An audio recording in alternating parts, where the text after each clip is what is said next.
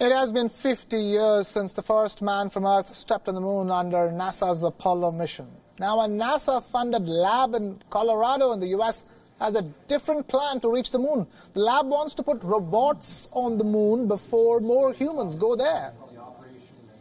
Their major goal is to make humans and machines work together.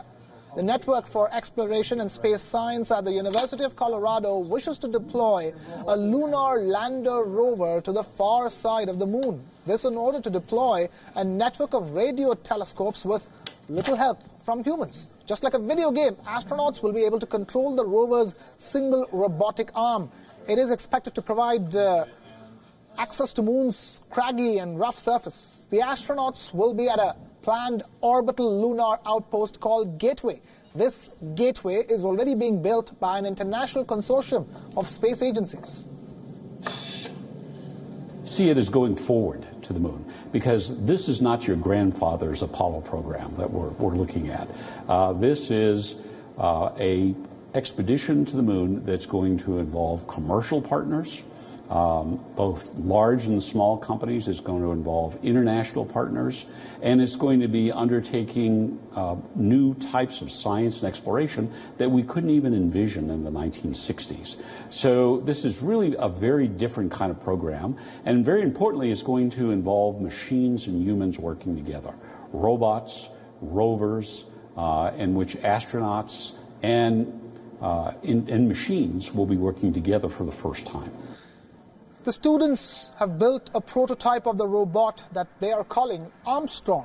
It has been named after the first man to land on the moon, Neil Armstrong. If this project works out, it could serve as a refueling station for deep space missions.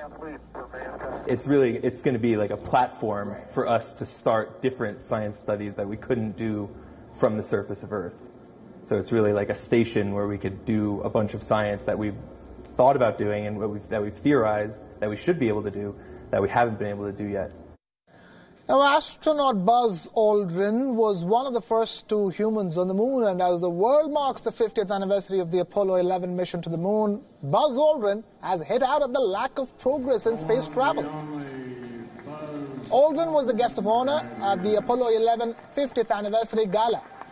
Speaking alongside fellow astronauts, Aldrin said that the world needs to be ashamed that there has been 50 years of non progress. I think we all ought to be a little ashamed that we can't. 50 years ago, the Saturn V took the command module, the lunar module, three of us to the moon. We landed, explored, got back up again, rendezvoused came back. That's 50 years of non progress. I think we all ought to be a little ashamed that we can't do better than that.